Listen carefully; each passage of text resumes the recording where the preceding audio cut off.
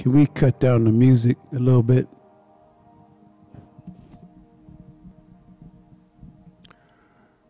Good evening and welcome to our Wednesday evening Bible study here at Rising Star Baptist Church. It's the first uh, uh, Bible study of the uh, month, I believe.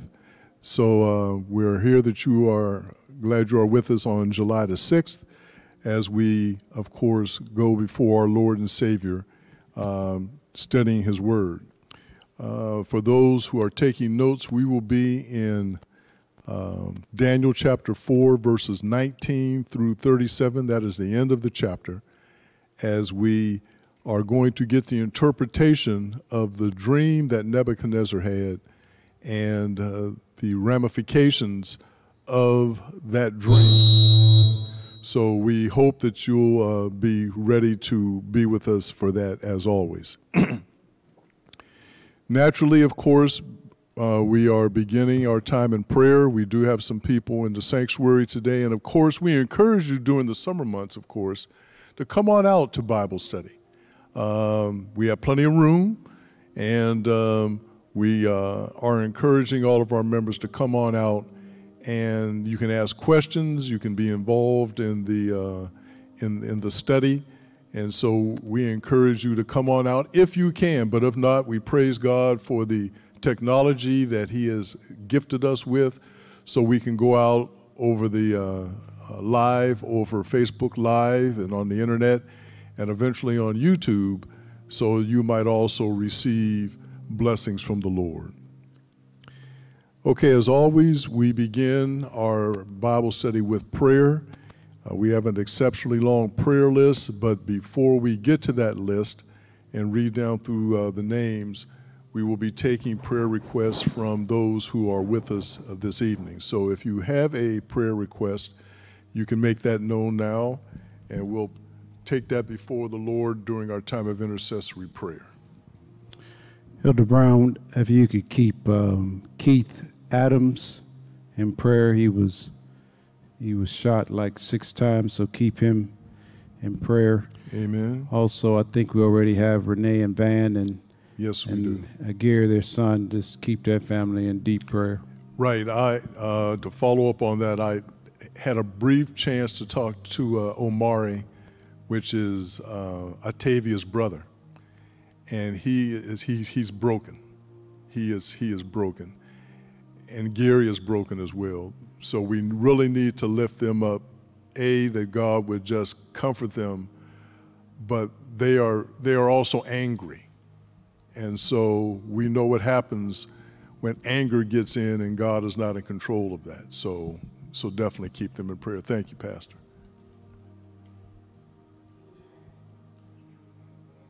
Yeah, we have Kina on there and um, Gwen Saunders. And Gwen, correct? Mm-hmm. The Foster family will be funeralizing Mr. Foster on tomorrow. The Foster family, okay.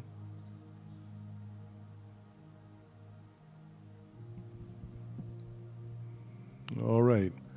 Are there any others? Okay, if not, then let's turn our attention to prayer. Father, the psalmist wrote, Unto thee, O Lord, do I lift up my soul.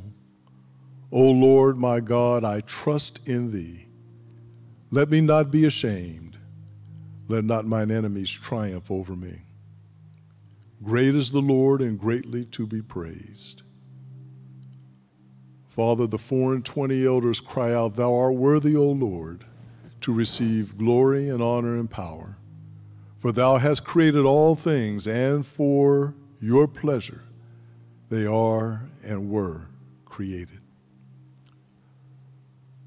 Father, in the name of your Son, Jesus Christ, our Lord and Savior, we come humbly, Lord, before your throne today, giving you all the praise, honor, and glory because you indeed are worthy. It was you who woke us up this morning and started us on our way. It was you, Father, who brought us to this place right now, traveling mercies that you allowed us to come over the highways safely. You gave us a heart and a desire and a mind to come out into the house of worship to once again praise your name and to make our requests known unto you. We praise you for this corporate time of prayer made possible by the death, burial, and resurrection of your Son, Jesus Christ. We praise you for sending your Holy Spirit to live within each and every believer.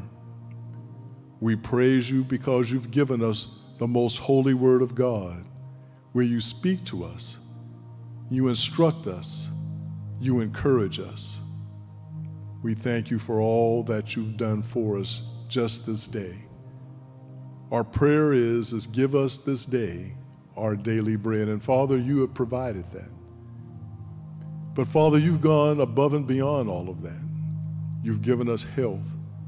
You've given us a measure of strength.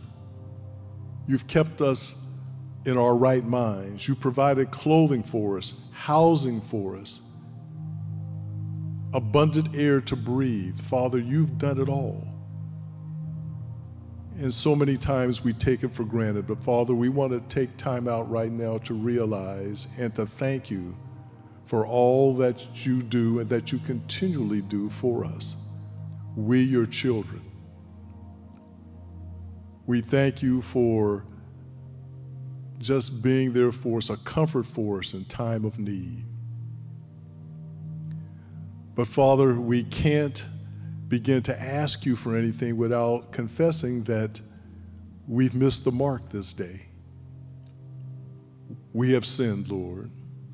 We have fallen short of your holy standard. So forgive us, O Lord. You said that if we would ask for forgiveness, that you would forgive and that you would cleanse us from all unrighteousness. And so, Father, we hold fast to that biblical promise.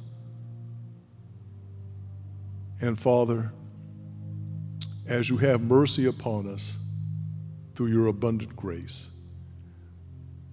We pray, Lord, that we will not make that same mistake again, that you would lift us up, that you would put us back on that road and keep us focused on Christ. Fathers, we continue in prayer during this time of intercession, our list is is long, and you know them all, Lord.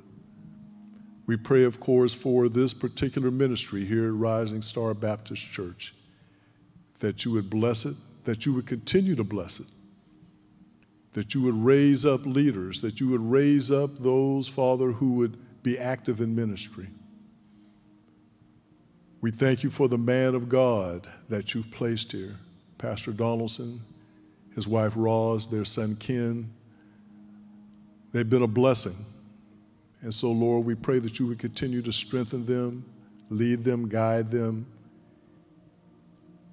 give them everything that they need in order, Lord, to praise you and to give you glory.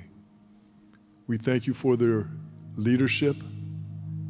We thank you for their patience, their kindness, their love. Father, we also lift up Dennis and Kira and their son Kason, his upcoming surgery, for Bob and Jocelyn Dabney, for Yvonne and Deacon John Clinkscale, for Bo and Dory Crosby, Margaret Ferguson, Jennifer Hightower, Dr. Ben Allison, Gwen Saunders, Keena Pugh, and DeAndre. Betty Brown, Pam Clardy. We lift up our own sister Deb McCrae, Mark and Tam Brown, Joyce Callens, Keith Adams, and Father, a particular blessing for those families that are grieving, the Foster family, which will be funeralized here at Rising Star tomorrow the Robinson family and the loss of Atavia, particularly praying for Atavia's father, Gary, and her brother, Omari. Father, they are so angry and so bitter as to what happened.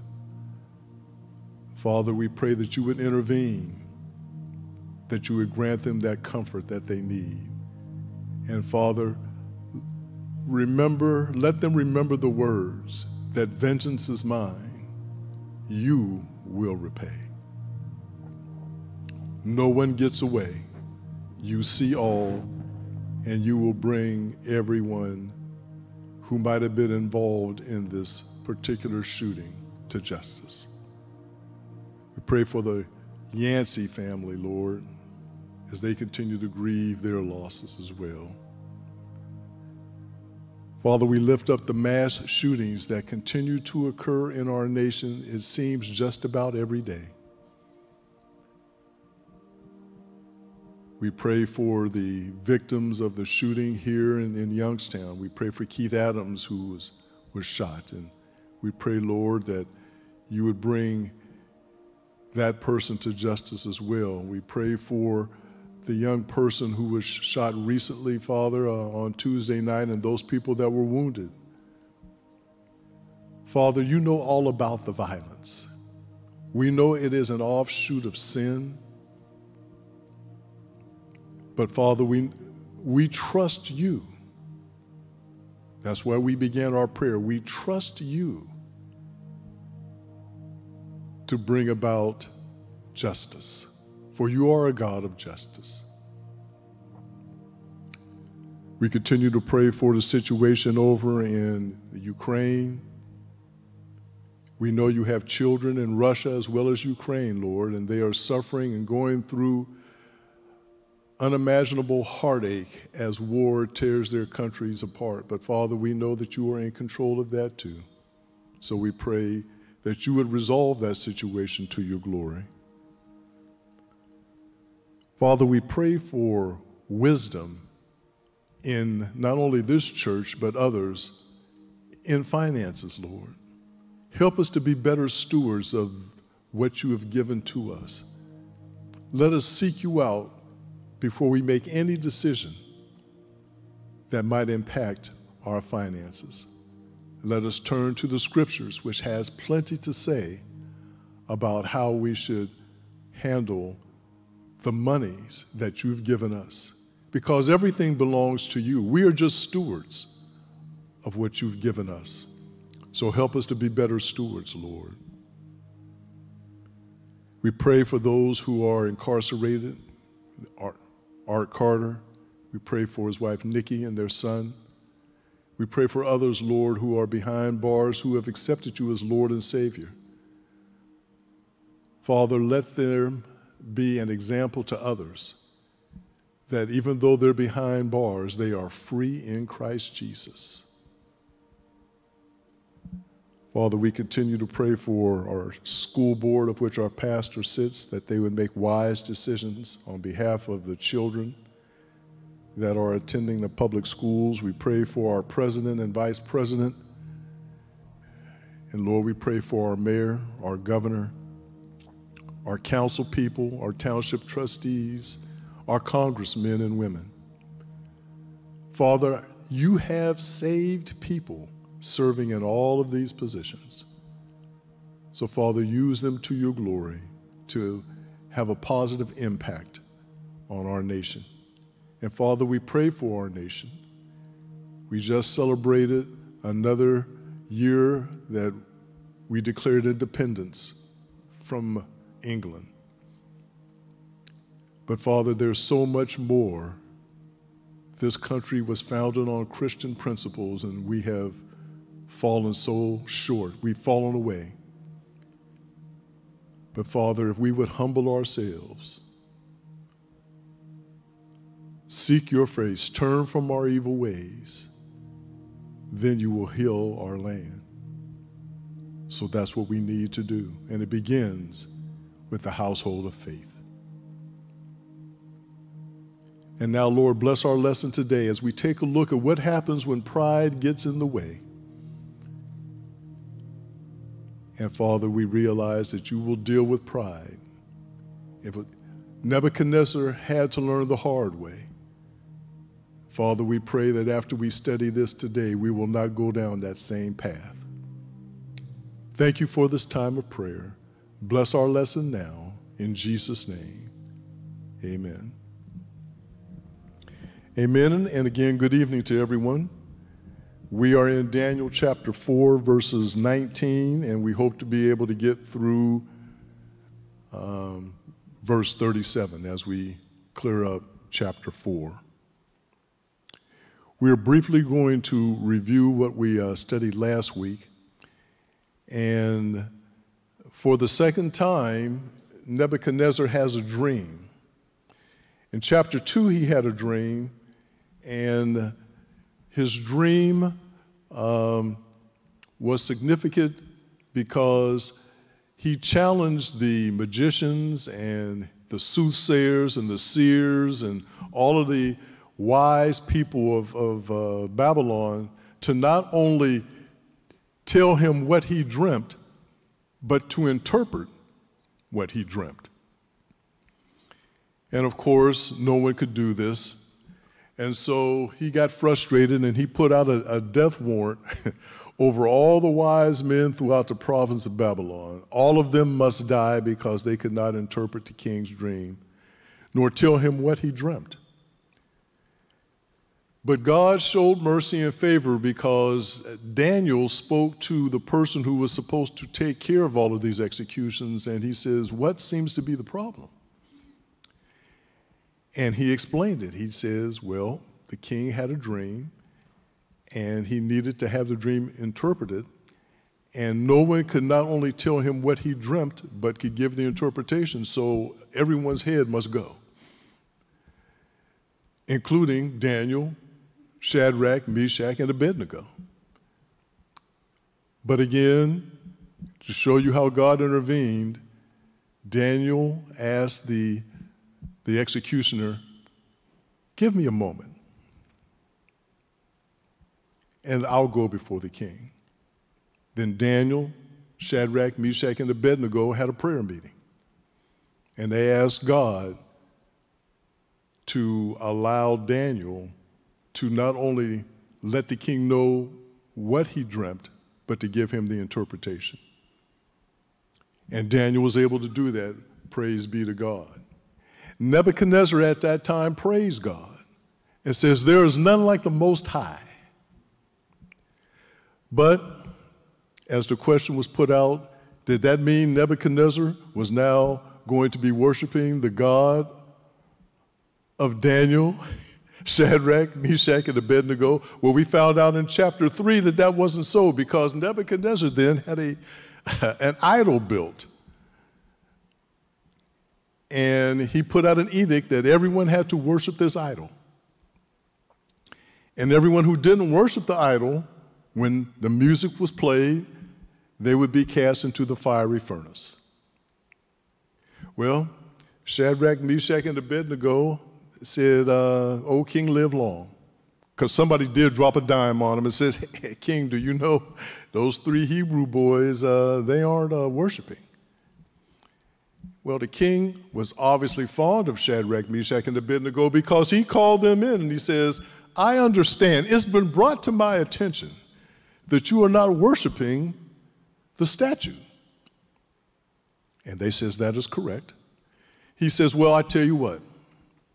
If you bow down when you hear the music and everything played and you bow down, all will be well.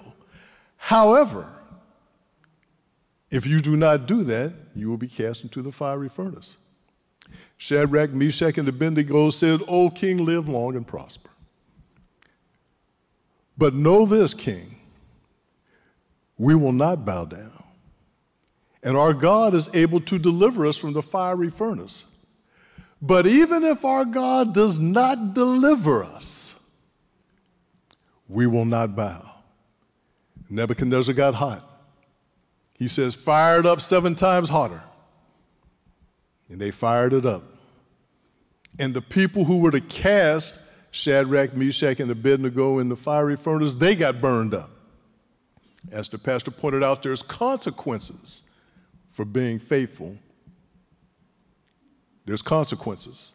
And sometimes there's collateral damage when you're faithful. But we found out what happened is that three men were thrown in, but the king looked in after a while and says, Wait a minute. He asked, he turned around and asked his boys, he says, Did we not throw three in? And now I see four, and the fourth looks like a son of God. Truth be told, Shadrach, Meshach, and Abednego came out not smelling of fire. The bonds that they had put on them were burned up. Their clothes were not singed. And once again, Nebuchadnezzar declares, What kind of God is this who can deliver so completely? And then he put out an edict, as we read back in chapter 3 at the end anyone who does not worship the God of Shadrach, Meshach, and Abednego, they will be torn limb from limb and their houses destroyed. So, do we think that Nebuchadnezzar now is on board with praising the Most High? The answer for all of those watching and here, the answer is no. So, Nebuchadnezzar has another dream, and chapter 4, we went through that last week, just to briefly re- recap it. A tree grows up, and this tree is magnificent. It ascends high above any other tree or any other thing that is known at that particular time. The beasts of the field flock to it and feel safe. The birds of the air rest in its limbs, and it's a beautiful thing. Then an angelic messenger comes down and says, Chop this tree down, but leave the stump. Once again, Nebuchadnezzar calls it. Now, I, I don't understand it. He called in all of his boys again. And again, they can't help him. But there's no death penalty for them this time. He's just frustrated. And then he remembers Daniel. In this case, he refers to him by his Babylonian name, Belteshazzar, which means lady save the king or lady protect the king. So we pull into verse 19 today of our lesson. This is for those uh, coming in and for those watching. Daniel chapter 4, verse 19. Then Daniel, whose name is Belteshazzar, was appalled for a while as his thoughts alarmed him. Now, here was Daniel's dilemma. He knew what he was about to interpret, and he was saddened in his heart. I believe, and this is just me, so I, I, believe that Daniel, who had served for years in the king's court by now, he is now a mature man, had grown to love Nebuchadnezzar, was quite fond of Nebuchadnezzar. But now he had to give Nebuchadnezzar some bad news. Remember the first dream, he says, Look, you are going to be strong, your kingdom is going to be tough, it's going to be great. You are the, you are the gold figure, you are the, you, you, you, you are the big dog. But now there's a problem with this interpretation. And so he was put back. But we read on, the king responded and said, Belteshazzar, do not let the dream or its interpretation alarm you. So Daniel takes a deep breath. My Lord, if only the dream applied to those who hate you and its interpretation to your adversaries. In other words, what I'm about to say, I wish it was for your enemies. But it is not, O king. This is for you. And so you remember whenever somebody comes over, let me give you an example. You go, you take your car over to, to the car dealership, you're going to have some work on it, and you see the service technician comes out. And the service technician says, Well, do you want the good news first or the bad news? In this case, Daniel's going to give the king some good news first. And so he interprets it. He says, in verse 20 the tree that you saw, which became large and grew strong, whose height reached to the sky and was visible to all the earth, and whose foliage was beautiful and its fruit abundant, and which was food for all under which the beasts of the field dwelt, and in those branches the birds of the sky lodged. Verse 22 It is you, O king, for you have become great and grown strong, and your majesty has become great and reached to the sky, and your dominion to the end of the earth. I bet any money Neb was back like this I am somebody. I am, Daniel, I've been trying to tell you, I am the boss. I rule over all Babylon. I am it. And as we talked about last week, when pride gets in the way, we lose ourselves. We become dependent on us. We think we can do anything, and we don't have to answer to anyone. Remember the key point we brought out last week in our lesson. In order to avoid this trap, we have to remember not to be so self reliant, but more God dependent. That was the kernel we wanted to pull from last week. We're going to come back to that again this week, but that's what we want to emphasize. We must become more God dependent. So in verse 23, in that the king, now remember, this is Daniel. Now remember, the king has seen this angelic messenger come down. In that the king saw an angelic watcher, a holy one, descending from heaven and saying, Chop down the tree and destroy it, yet leave the stump with its roots on the ground, but with a band of iron and bronze around it in the new grass of the field. And here it comes. And let him be drenched with the dew of heavens, and let him share with the beasts of the field until seven periods of time pass over him. Seven periods of time is equal to seven years. So, seven years, King, you are going to be with the beast of the field. He goes on. This is the interpretation, O king. And get this. And this is the decree of the Most High, which has come upon my Lord the king.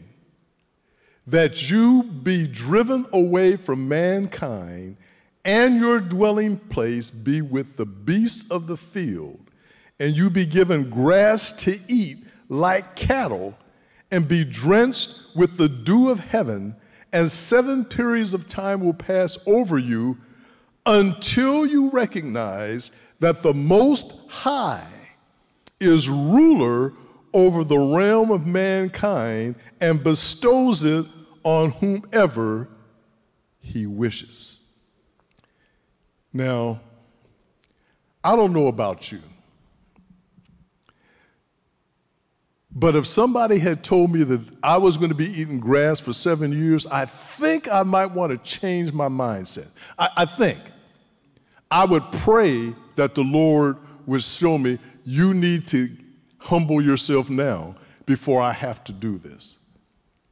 I would pray, and I hope we would all pray this same situation. But watch Nebuchadnezzar. Keep your eye on Nebuchadnezzar because it is not going to end well in the initial point. Verse 26 And in that it was commanded to leave the stump with its roots of the tree, look what it says Your kingdom will be assured to you after, circle the word after, after you recognize that it is heaven that rules. Okay, so interpretation. Again, Nebuchadnezzar, great ruler, to prosper. But because of your pride, you're going to be cut down. You're going to have to live like an animal for seven years. But you will be restored to power after you recognize the Most High. Bear with me, because I'm going to I'm going to bring up another point. in verse 27, and this is what I love about God. L- listen to this carefully. Therefore, O king, may my advice be pleasing to you. Break away now from your sins by doing righteousness, and from your iniquities by showing mercy to the poor, in case there may be a prolonging of your prosperity. In other words, God is saying, I'm, I'm going to withhold all of this if you repent. The book of Jonah is the perfect example of this. God told Jonah to go to Nineveh. He says, I'm going to wipe out the Ninevites, but I need for you to go and tell them to repent. Now, Jonah hated the Ninevites. And he said, Well, I'm the only one with the message from God. So I'm going to go in the opposite direction. And then God will have to destroy the Ninevites. But we all know what happened. God's plan is irreversible. He shook up, had Jonah thrown overboard, swallowed by a big fish. Jonah prayed. He says, Okay, Lord, I get the message now. The fish burps him up. He makes haste over to Nineveh. He says, Nineveh, repent. And they repented. Even the animals. And God withheld his verdict. Now we know later the Ninevites forgot about that, and God eventually did wipe out the Ninevites. But I like exactly what um, the commentator from the Dallas Theological Seminary had to say here. Daniel concluded by exhorting the king to renounce his sin, particularly his sin of pride. This points out the principle that any announced judgment may be averted if there is repentance. Daniel urged Nebuchadnezzar to turn from his sinful pride and produce fruits of righteousness, acts which stem from a heart that is submissive to God. Had Nebuchadnezzar done so, he would have averted his seven years of insanity. But did Nebuchadnezzar do that? Class, did we see any hands? No. Any comments so far before we, before we move on?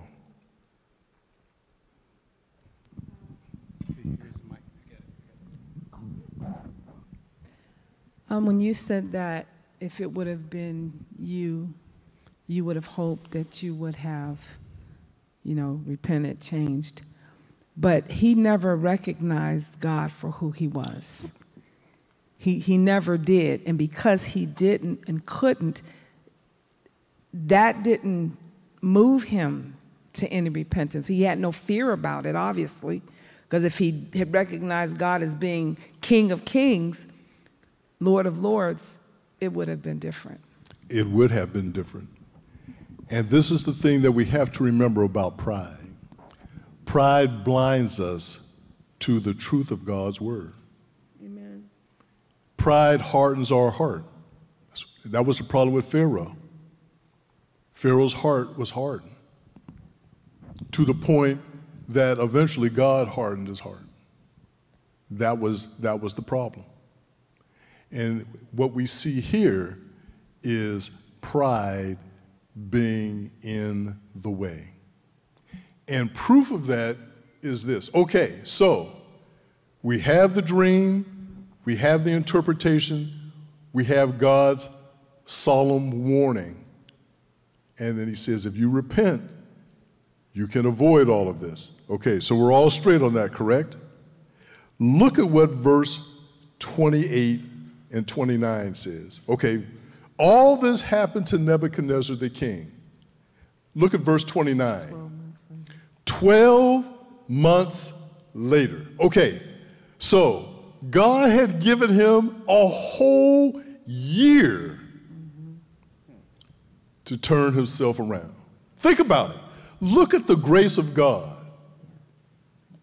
A whole year for him to repent of his pride, to do these righteous things, have mercy on the poor, turn away from your wicked ways, acknowledge the Most High God that He is the one who has given you the authority, He is the one who has given you the power.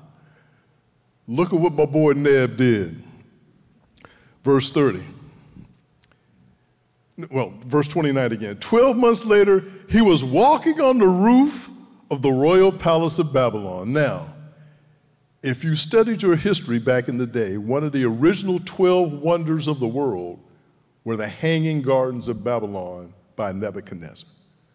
So I'm thinking that when he was out on the royal palace, the king in verse 30 said this Look, he reflected, the king reflected and said, Is this not Babylon the Great, which I myself have built as a royal residence by the might of my power and for the glory of my majesty.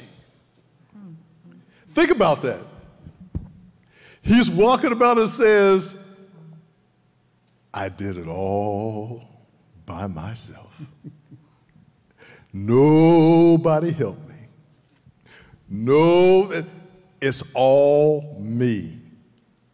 I am great. And then look at verse 31.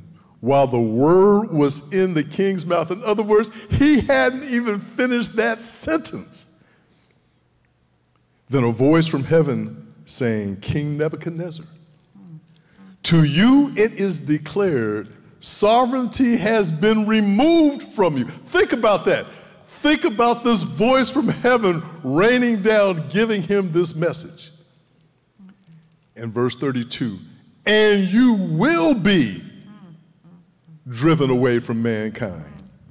And your dwelling place will be with the beasts of the field. Think about, look, you will be given grass to eat like cattle, and seven periods of time will pass over you until you recognize that the Most High is ruler over the realm of mankind and bestows it upon whoever he wishes. God's long suffering and his mercy is unbelievable. Isn't it amazing? Because even, I mean, all of this is going on, but prior to that, he still gave him a promise. A promise. That his kingdom would be restored to him. He's give, with, with all of what Nebuchadnezzar said, all of his pride, all of his arrogance, God still gave him a promise. I'm going to make sure that your kingdom remains and I'm going to give it back to you. Isn't that amazing? That's just so deep to me. That just shows you the grace and mercy of God. He wants us to worship Him and acknowledge Him. That's all He wants us to do. Realize that all that you have comes from me. Just give me the praise and worship and glory that is my due. That's all I want from you. And that's the message for us today. He wants the praise. And why shouldn't he get the praise? Think, let's flip it over. Amen. Why shouldn't he get the praise? It was he who has provided air for us to breathe. Look, we don't even think about it. But get it to a place where there's no oxygen around and find out what happens to you. Think about it. All of us right now have access to water. We don't even think about it. But let us go two or three days without water if we can. Not going to happen. He does that. He has provided everything that we need to thrive on this planet that we call Earth. That's why he deserves the praise every single day. And when he doesn't get it, when the pride turns in there, he doesn't like that. He's a jealous God. He'll have no other gods before him. And he should be jealous. It's his creation. We are his creation. And it's really bad when his children mm-hmm. act up. The beautiful part in Hebrews, though, is that he'll have to bring out the licking stick, as James Brown had to say. Mm-hmm. For whom he loves, he chastises. That's what we have to remember. Jerry, you had a point? Mm-hmm. Go ahead. Um, he wants it freely given. You know, he's given us to freely give it to him instead of, but he is telling him he's going to get it. Regardless, you know, it's, it's coming, but he would rather you realize that he is deserving of it. That's it. All he wants is praise from his children. And why are we so stingy with it? Why are we so stingy? Why is it so hard for us to give him praise? Because we're giving it everywhere else. We give it to everywhere else. We, we, we, give it, we give it to every, everyone else. There seems to be a difference between praise and just saying good things about God. Amen. Nebuchadnezzar, when Daniel was delivered, he said some great things about God. Absolutely. Absolutely. When Shadrach, Meshach, and Abednego were delivered, he said some great things about their God. He did. So you can say some good things about God and not be a God follower. Absolutely. And this is the perfect, Nebuchadnezzar is a perfect example. We have three examples of him praising God to the Most High.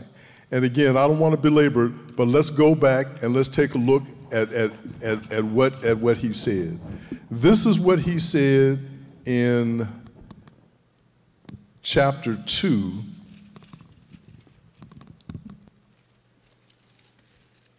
And I believe it's around verse 20.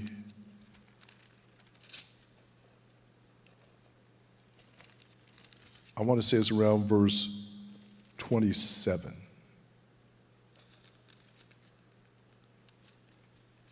No, that's not it. Oh, here it is, verse 46. I was 20 verses off. then King Nebuchadnezzar fell on his face and did homage to Daniel. Well, that was the first thing. When he fell on his face, who did he give homage to? Daniel and did homage to Daniel and gave orders to present to him an offering and fragrant incense. The king answered Daniel and said, Surely your God is a God of gods and a Lord of kings and a revealer of mysteries, since you have been able to reveal this mystery. But notice what he said here. Surely your God is a God of gods he was still lumping the Most High in with Baal and whoever else they were worshiping. And then he says, and a Lord of kings. So he's putting earthly kings in the same realm as the Most High. So he's just saying words. Then, of course, we, we remember what happened after Shadrach, Meshach, and Abednego had been delivered from the fiery furnace. And then he said this, verse 28 of Daniel chapter 3. Nebuchadnezzar responded and said, Look, blessed be the God of Shadrach, Meshach, and Abednego, who has sent his angel and delivered his servants who put their trust in him, violating the king's command, and yielded up their bodies so as not to serve or worship any God except their own God. Remember, their own God. Therefore, I make a decree that any people, nation, or tongue that speaks against anything offensive against the God of Shadrach, Meshach, and Abednego, look at the punishment, shall be torn limb from limb, and their houses reduced to a rubbish heap.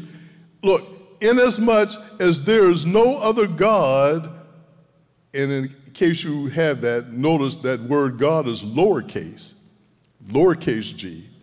There is no other God who is able to deliver this way. So we see that he acknowledges that God is, is, is pretty good. Oh,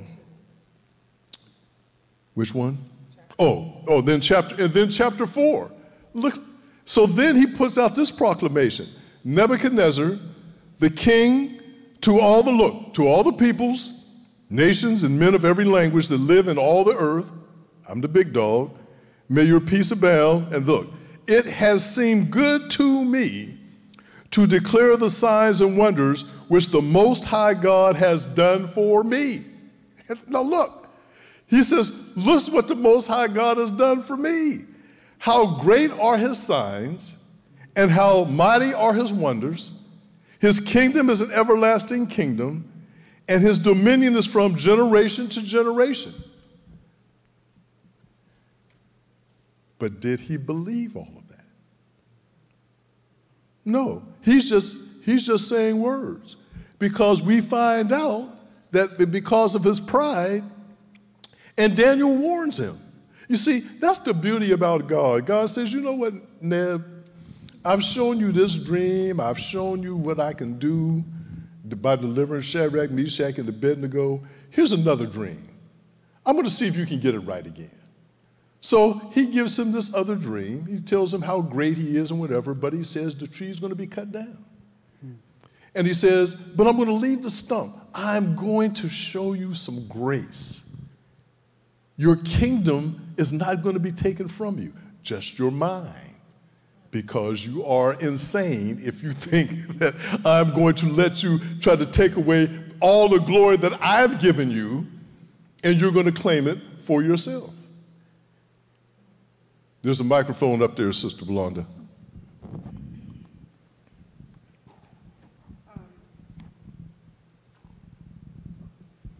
Um, in listening to you, uh, Elder Ernie, um, uh, for the past couple of days, we've been doing a study on true worship. Mm-hmm.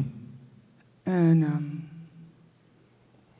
John MacArthur's been helping us to understand what is acceptable worship versus what is unacceptable. And he led us to a scripture of how we can honor God with our mouths. So, functionally and ritually, we could go through all the motion, even in church. And God is looking to the heart, because we can say a lot of things about God but that really not stem from our heart. Amen. And this was Nebuchadnezzar's concern. You would think, after seeing what he had seen from the Most High God, I mean, just the fiery furnace itself should, should have just, Nebuchadnezzar could have said, okay, it's over. I'm worshiping this. You know, my gods couldn't have done anything like this, so I, I am going to worship the one true God. I'm going to worship the God of, of, of, of, of the Hebrews because he is God. But when that pride gets in there, you can't see. And that's what happened here. Verse 33 Immediately the word concerning Nebuchadnezzar was fulfilled, and he was driven away from mankind and began eating grass like cattle. And his body was drenched with the dew of heaven until his hair had grown like eagle's feathers and his nails like bird's claws. Now, think about this. He was going to be in this condition for seven years. And guess who was still ruling Babylon? Think about this. Here's a man who's insane, and he's still the king he is still ruling. They kept him from the people. And I, I like what had been predicted. This is from uh, the commentator from Dallas Theological Seminary. God endured Nebuchadnezzar's pride for 12 months. this may have been a period of grace in which God was giving Nebuchadnezzar every opportunity for him to repent. But when Nebuchadnezzar ignored Daniel's exhortation, God, who had given Nebuchadnezzar his authority, announced the interruption of his rule. Notice the interruption of his rule, not the end of his rule, the interruption of his rule. Sometimes God has to interrupt what's going on in us to get our attention. There's a microphone. Frank, Frank Rupert has one. Uh, my pastor, David Tolbert, always says uh, that God, because of his grace, is not quick to start spanking, but when he starts, he's not quick to stop. I love that. I, I hope everyone heard that over the internet. Well said. Uh, Brother Teacher, you know, when I read that verse, uh, I thought about uh, King Nebuchadnezzar, and, you know, I find it uh, almost unimaginable that after getting that decree from Daniel, that this man didn't change at all. I put him in our position. I put him in, uh, let's say, myself. When, you know, I've done wrong and the Lord punishes me, and I ask God to, to forgive me, and I repent, you know how we do. We, we do good for a while. Uh, and we, we, we change our ways for a little while. And when nothing happens bad, like this decree came about, then we start to get comfortable and we kind of slide back to where we was in the beginning. And so I've, I, to me, when I hear this, I say to myself, well, I, perhaps King Nebuchadnezzar did give grace to the poor for a few weeks or for a few months. But after he saw, like you said, his pride took him over, after maybe 10, 11 months, nothing happened, he said, well, you know what? Maybe I don't have to change. Maybe I am as cool as I think I am. And the Lord said, uh, like you said, no sooner than he said it, it was over for him. It was, it was over. Brother Frank. You know, I I know he kept uh, reneging, you know, after he seen God working, but I believe at the end of chapter four, it looked like Nebuchadnezzar was had repented. Uh, uh, to me, he looked like he had repented, and he even acknowledged, you know, his pride. He said, he said, God will humble the pride. He spoke this out his own mouth. Right. And and so I don't know if we can dogmatic, dogmatically say that he didn't become a believer. Now I understand he probably had other gods, but he worshiped the God of Daniel. In fact, I'm glad you got there. You, you, you raced ahead of me a little bit because I'm going to put it out there that when we hear this declaration, I'm just going to put it out there. Do we believe Nebuchadnezzar became a believer? But we'll, we'll put that out there. We'll, we'll put that out there for, for, for general discussion. So the commentator says this, and, and, and, and I kind of and I, I kind of agreed with it, but I wanted to let you hear what he had to say, and we can discuss it if you choose to. Elder Brown, real yes, quick. Sir. I just the, the phrase grace period just kind of just rings in my mind and it's because in, in verse 29 mm-hmm. 12 months later. 12 months later. As opposed to verse 33 immediately. Think about that there is a grace period. There's a grace period. And we don't know what that grace period is. And that's why we shouldn't mess around with Absolutely. it. Absolutely. When God gives you grace, accept that grace and, and work on it. But don't challenge him. That's what Nebuchadnezzar did. Goes back to what, what, brother, what Brother Hughes said. Two months, three months, four months. Hey, nothing's happened. Five months, six months.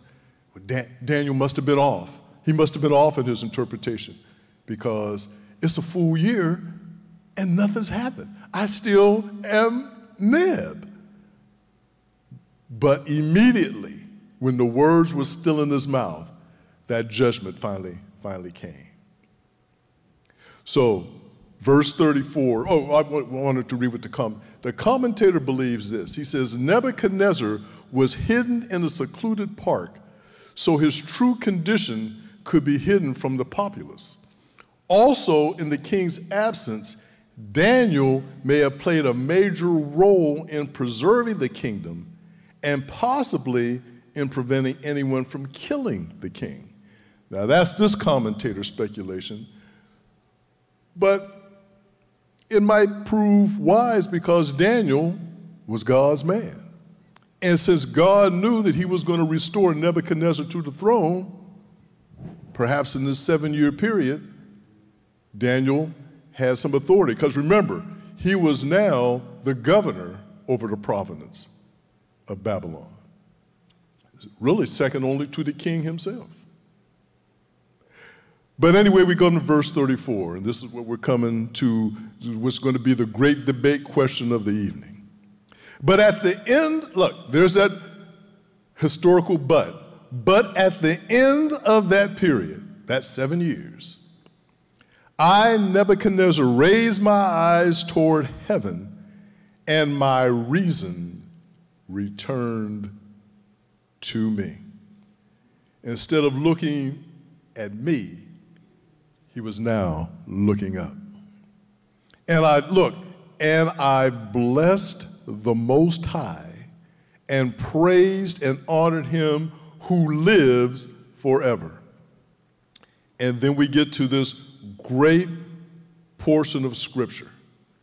For his dominion is an everlasting dominion, and his kingdom endures from generation to generation. All the inhabitants of the earth are accounted as nothing, but he does according to his will in the host of heaven. That's what Job had to get into his, his mind. And among the inhabitants of the earth, and no one can ward off his hand or say to him, What have you done? That's the sovereignty of God. And verse 36 And at that time, here we go, at that time my reason returned to me, and my majesty and splendor were restored to me for the glory of my kingdom. And my counselors and my nobles began seeking me out. So look, so I was reestablished in my sovereignty, and surpassing greatness was added to me. Let me read what Chris Hodges, who is the pastor of the church, by the way, I recommend this book for those who might want, want to get it. The, the, the entire title of the book is called The Daniel Dilemma How to Stand Firm and Love Well in a Culture of Compromise. And the author is Chris Hodges. And again, he is the founding and senior pastor of the Church of the Highlands in Birmingham, Alabama. And this is what he had to say God always shows us the way back. He's always willing to produce new growth from the stumps in our lives. He points this out. When we do not heed God's warning, our pride causes us to collapse under the weight of our sins. So when the sanity was restored, and for those, again, taking notes, Mr. Hodges or Pastor Hodges says, when we repent, we need to focus on what he says are these three steps. First, we must exalt the King of heaven. God deserves heartfelt praise and worship. Anything less is arrogance on our part. God deserves heartfelt praise and worship. Anything less is arrogance on our part. And I like the analogy that he uses there. He says, He longs for the days when people who go wild at football games and in concerts would go just as wild when they praise the Lord in the church. He says, it still frustrates him when people praise the Lord and they raise their hands and shout, their eyes are closed, and people roll their eyes over them and looking at them and says, What is he or she doing? Yet, he says, when they go to see the Alabama Crimson Tide play, they are like wild people. Got their faces painted with red, wearing their Alabama stuff, and going crazy. He says he longs for the day when the church gets ex- that excited about exalting our Lord and Savior, Jesus Christ. Number two, acknowledge that God does everything right and all his ways are just. Isn't that what Nebuchadnezzar said? He says, He does according to his will in the host of heaven and among the inhabitants of the earth, and no one can ward off his hand or say to him, What have you done? Remember, God doesn't ask us to try to understand his ways. He knows we can. So he doesn't expect us to try. He just asks us to obey him and to trust him. And Pastor Hodges says this it's actually very liberating to trust in something you do not have to understand. That's liberating. Frank, you had a you had a point, or and, and that's why I say again. I mean, Nebuchadnezzar did all this. I mean, he looked to heaven, and he acknowledged his sin, and and and and, and worshiped God openly. You know, and, and all these things, and it just looked like a repentance. But I think Nebuchadnezzar missed the fact that all along he was God's servant. And, if, and even in other books like Jeremiah, uh, God speaks of him as his servant. Yes. Uh, and, and, matter of fact, he used Nebuchadnezzar even to overthrow Judah and, and right. Israel and all them. He used, he rose him up to uh, overthrow Judah because of their sin, idolatry, and disobedience and unfaithfulness. He, he, he was God's man for that. He was his servant for that. So I don't know. I mean, toward the end, seemed like he repented and, and became a believer to me. We, we, we, we're going to get there, Frank. Let me get to this last point. Then we're going to throw it out there for, for the audience and for the class to discuss. So, First, we must exalt the King of heaven. Next, we must acknowledge that God does everything right and all his ways are just. And number three, we must walk in humility. We must walk in humility. And I love this play on words, so I'm going to say this several times for those who want to write it down. Humility is not thinking less of yourself, True humility is thinking of yourself less. So I'll repeat that. Humility is not thinking less of yourself. Oh, don't mind me, I'm just a speck in the universe. True humility is thinking of yourself less.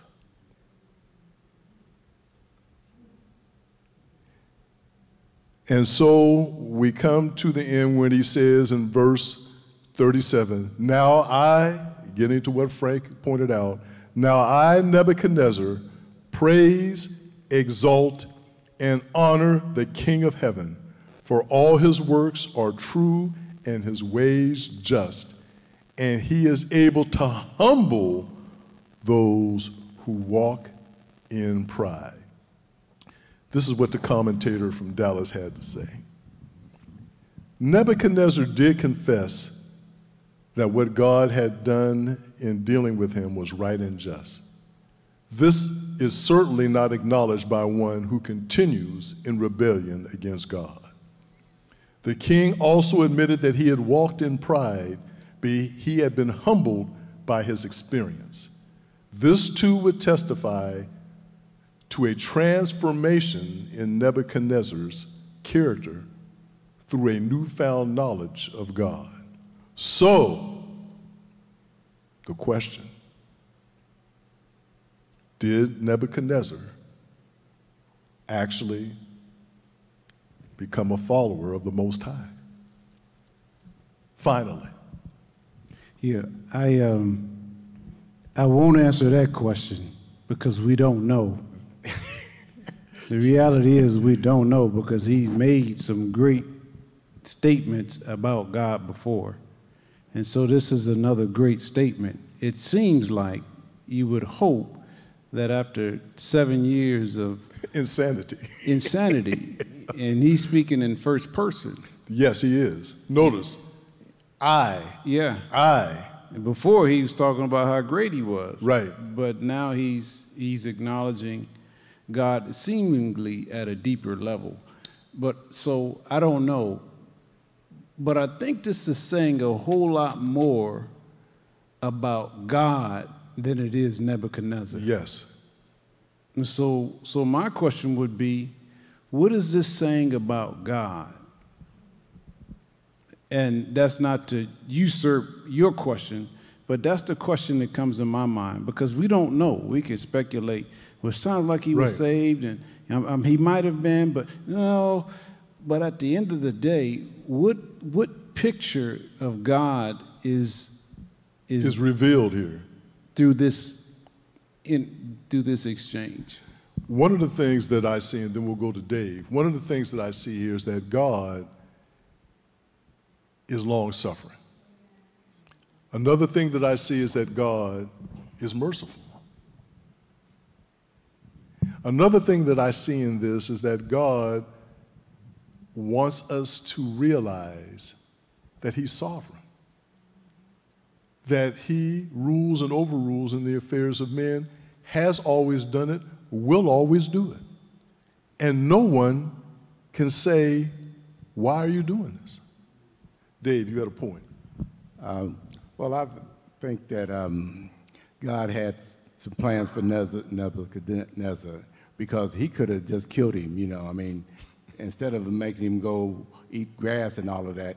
But I think he had plans for him um, down the line for him. So, uh, like Pastor say, we don't know for sure, but it, it sounds like to me he's acknowledging more than what he did before because before he was acknowledging just himself. That's right. And, he realized somebody kept him because hey, seven years, that's a long time to be eating grass. God kept Hey. him even during his insanity. Yeah. Let, let me tell you what it, let me tell you what it says to me about God, and that is this: the, the very the very first sin that we are introduced to uh, uh, when it comes to Satan was pride. God has a he has a certain disdain for prideful look and a prideful heart and a haughty look. I mean, that's one of the things that God cannot tolerate. I mean, it, it seems like that is one of his pet peeves, as, as you would say. He don't tolerate anybody thinking that you're more than me. And, and if you think that you are, I am more than willing, able, and capable of proving to you that you are not more than me. And he, and, and, it, and he does it in such a way that when he is done with you, you don't have a question in your mind that there's somebody greater than me. Pride, to me, God hates it. He hates it. Donna, you had a point.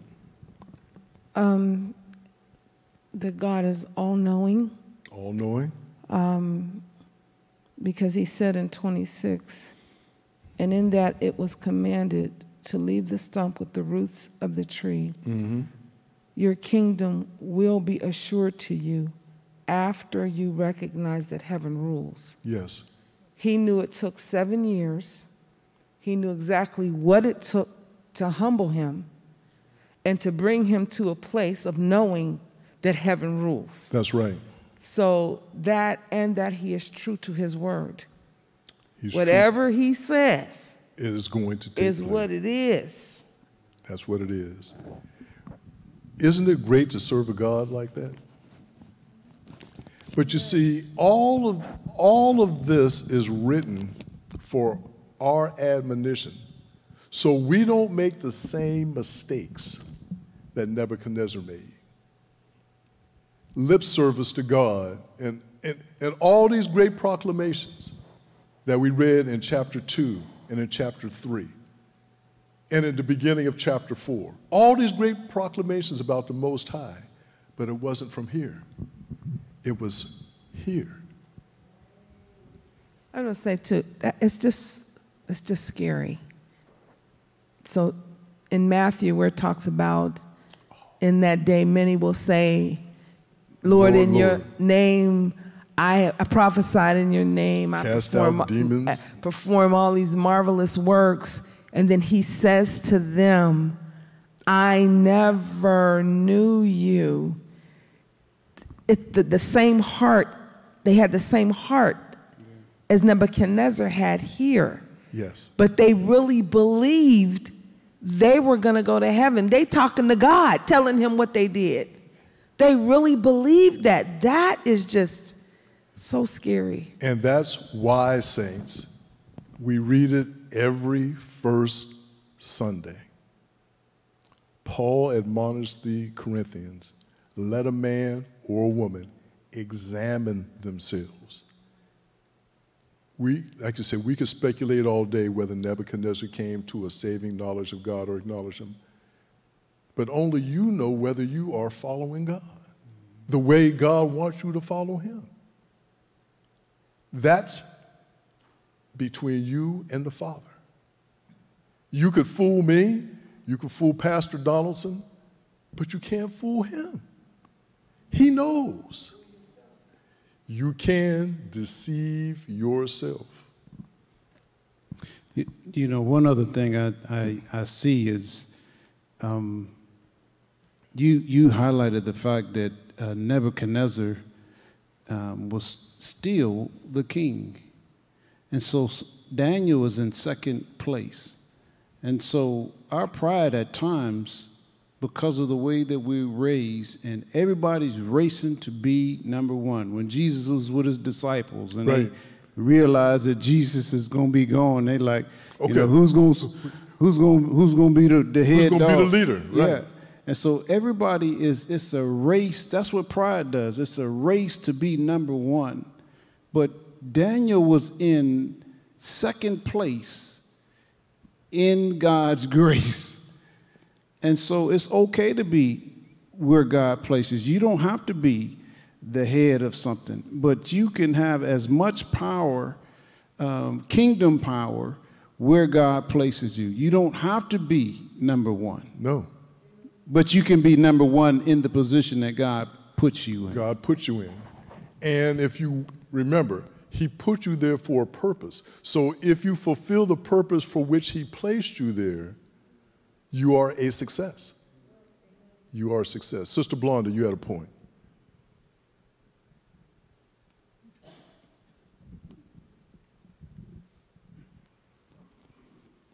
Um, as you were talking, I was thinking about the scripture, and it says that um, God is not um, slow concerning his promise, but that he is patient. And he wants those. He, it's not his desire for a man to perish, but a man to come to repentance.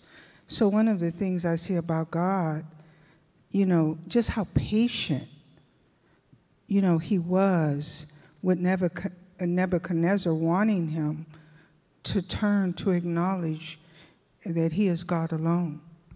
Amen. Let, let me close by reading um, from Brother Hodges' book.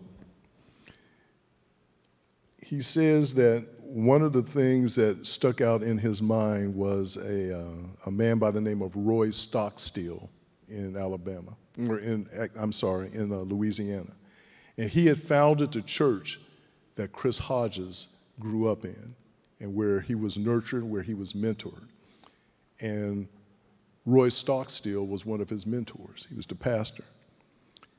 Well, he went to be home with the Lord, Mr. Stockstill, and Mr. Hodges. Pastor Hodges had a chance and was given the honor of dealing with his eulogy.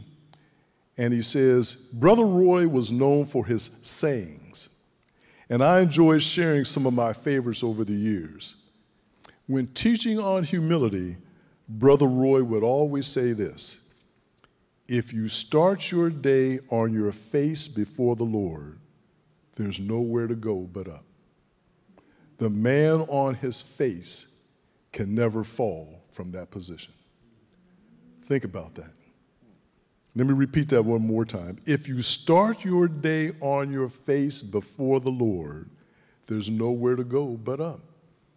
the man on his face can never fall from that position. We must learn to humble ourselves before the Lord. That's what James 4:10 says. Humble yourselves before the Lord, and he will lift you up. And he will meet you where your greatest need is. Amen. Amen. God bless you. That takes care of chapter 4. Lord willing, we will be in chapter 5 next week. If all hearts and minds are clear, let us pray. Father, again, we thank you for this lesson on Nebuchadnezzar. Father, in the name of Jesus, we've discussed so many things about you, about your mercy, about your grace, about how we need to humble ourselves before you have to humble us. So, Father, let us take these lessons uh, to heart. Let us go back and reflect on it, that we exalt you, that we acknowledge that you are always right and your ways are just, and that we need to humble ourselves before you. Father, thank you for those watching this evening. Bless their families, bless their family members who aren't saved. Father, perhaps they will show this to them and they'll come to a saving knowledge of Jesus Christ. And Father, for those here today, we pray that same prayer and also for traveling mercies that we'll be able to go back to our homes and find them, find that home as we left it. We thank you, we praise you, we give you all of the glory because you and you alone are worthy. In the precious name of Jesus, we do pray and give thanks. Amen and good night.